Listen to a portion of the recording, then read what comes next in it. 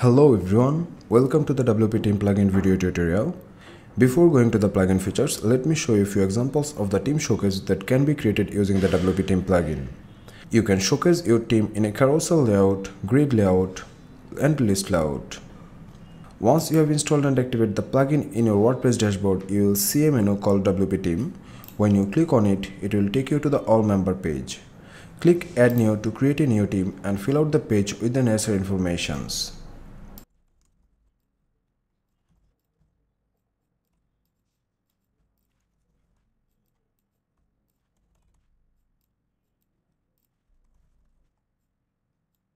Now click publish to add the member and repeat the process to add as many member as you want.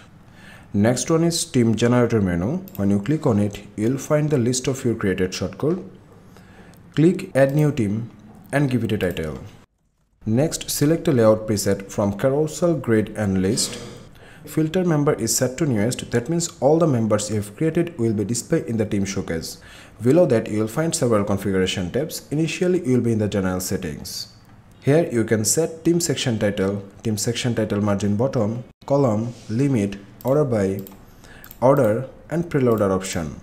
Now let's have a look at the team showcase in the live preview. Click show preview and you can see this is how the team showcase display in the live preview.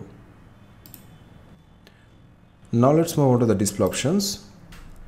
Here you can configure the member content position, border, border radius and background color. You can show or hide the member meta fields from here and customize the social icon settings.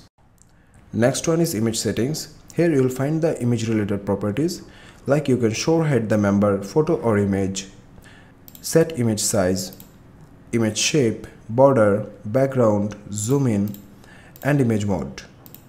So if I select zoom in effect and update the preview, you can see the member photo is zooming in on hover.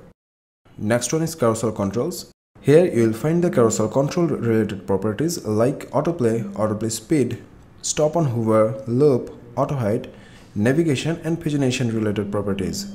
So let's hide the navigation and if I update the preview, you can see the navigation has gone but the pagination is still showing.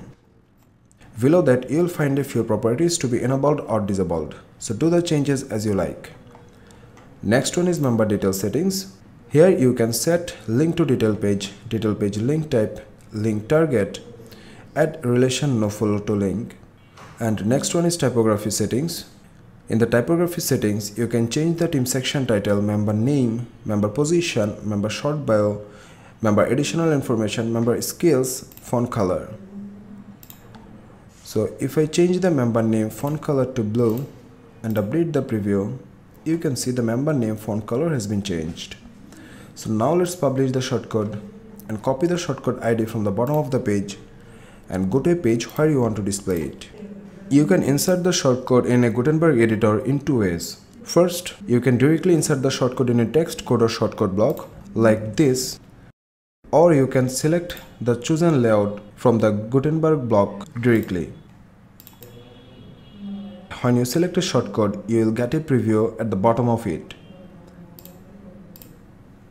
So now let's publish the shortcode. So this is how the WP Team Carousel Showcase display in the front end. Now let's move on to the plugin settings menu.